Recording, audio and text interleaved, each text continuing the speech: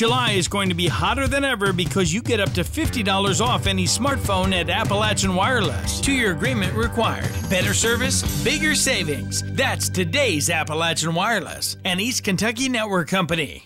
Schools all across our region are preparing to welcome students in just a few weeks. Back to school shopping is in full swing, and several groups in Johnson County are coming together to make sure all students go back to school with everything they need.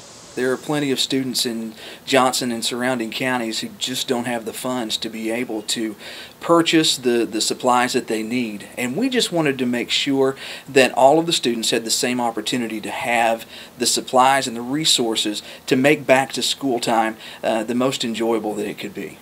Every year, the Johnson County Resource Center hosts an event called Ready Fest, held the last Tuesday before school starts. They supply uh, school supplies, hygiene products, and just the basic essentials to get students ready to go back to school. Well, this year we wanted to add a different component to that.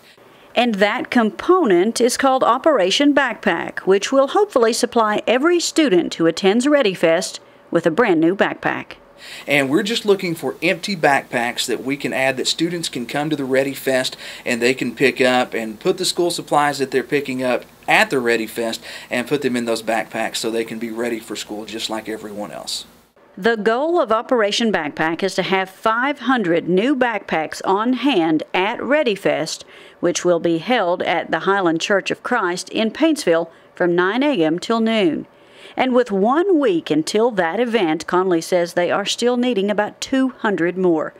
Backpacks can be dropped off at the Johnson County Sheriff's Office. Reporting in Paintsville, I'm Shannon Deskins for EKB News.